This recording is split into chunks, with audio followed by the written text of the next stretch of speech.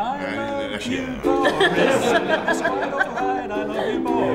glimpse into the relaxed wireless workplace of the future, courtesy of Amazon. I get the point. I get the point. So it's, it's a kind of Team building. This is team building. This is the tech industry at its creative, blue sky, out of the box, beanbaggy, brainstormy best.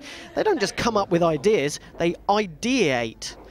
The new Amazon Development Center is part of Tech City, the growing cluster of technology businesses around the Old Street area, commonly known as Silicon Roundabout.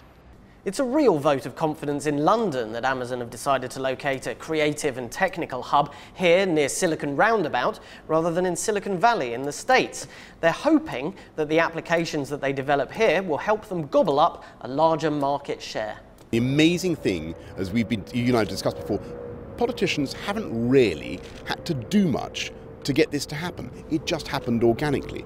Thousands of people have started to do startup enterprises, apps, all that kind of thing. They they like to do it in this area. We've got about 3,000 firms in this neighborhood, and I would say it was significant. Tech City is still a relatively small development in a city as huge as London, but no one can deny that this industry will create an increasing number of our skilled jobs in the future.